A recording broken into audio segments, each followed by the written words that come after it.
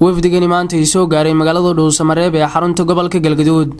Ayaa waxaa hogaaminayay madaxweynihii hore ee maamulka galmudug maxamed axmed caalin waxaana ku wehelinayay odayaal dhaqameed siyaasiyiin iyo sidoo kaleeto aqoon-yahano iyadoona markii ay soo gaareen magaalada dhuusamareeb ay soo dhoweeyeen mas'uuliyiin ka tirsan maamulada degmooyinka dhuusamareeb gurceel caabud waaq xeraale iyo sidoo kaleeto degmada balanballe iyo maamulka gobolka galgaduud ee bartamaha dalka intaasi kadib ayaa waxa ay ka qayb galeen munaasabad loogu talagalay wafdigani maanta ii soo gaaray magaalada dhuusamareeb taas oo ay ka soo qayb galeen qeybaha kala gedisan ee ururada bulshada rayidka ah. Xubno ka tirsan maamulada degmooyinka ee gobolka galgaduud. Waxaana halkaasi ka hadlay ugu horeyn gudoomiyaha maamulka dowladda soomaaliya ee magaalada dhuusamareeb macali cabdiraxmaan cali maxamed geedo qorow. Waxaan rabaa anigoo magaca shirka iyo magaca dadka degan degmadan magaalo madaxda gobollada dhexe codkooda anigoo ku hadlaya inta wanaagga jecel oo dhan magaaladiinnii iyo dadkii walaalihiin ah ku soo dhowaada guryihiinnii dad idin sugayo ka maqnaydeen iyo meel wanaagsan oo khiyaar lagu soo dhoweeyo intaba ku soo dhowaada. Soo dhoweyn kadib shirku wuxuu marayaa meel aad ku farxi doontaan iyadoo beelihii shirku meesha uga socday qaybo badanna ay heshiiyeen qaybanna hawshoodii ay wataan. Marka aad iyo aad ayaan mar labaad idiin soo dhoweynayaa sidoo kale iyaguna waxaa goobta ka hadlay xubno ka socday wafdiga uu hogaaminayey madaxweynihii hore ee maamulka galmudug maxamed axmed caalin iyagoona sheegay inay aada ugu faraxsan yihiin inay maanta yimaadaan magaalada dhuusamareeb.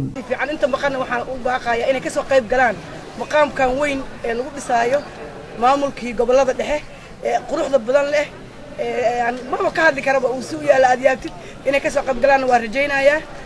waxaan ku hadla ma aqaano? Oo waa isku dardarsamay oo muxuu ahaaye farxadda ay ga badatay soo dhoweyntii faraha badnayd iyo waxaana inii sheegaynaa ergadayadii inay soo bilaabanayso mudug oo dhan qaybaheeda bulshada oo dhaqankii iyo mataqaanaa bulshada qaybaheeda oo dhanna ilaa aroortii inay soo galahayaan insha allahu siday uga soo qayb galaan madashaan aadka u qiimaha badan iyo annagoo mataqaanaa ballan qaadayna insha allahu in dib u shirkan dib u heshiisiinta oo maanta halkan ka furmay oo laga horumariyey mataqaanaa gogashii siyaasadda iyo maamulka lagu dhisahayey in aan aad ugu faraxsannahay. Wax badanna aan maaragtay arrintaas aanu ku talinaynay. Maantana aan soo dhoweynayno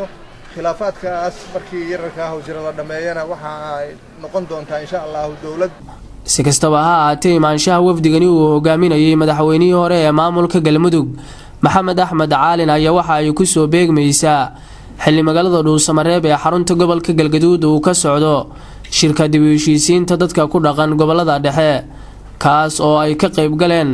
beelaha dega gobollada dhexe gaar ahaan gobollada galgaduud iyo mudug. Waxaana shirkani uu marayaa iminka meel gabagaba ah. Maxamed cabdiweli taaxow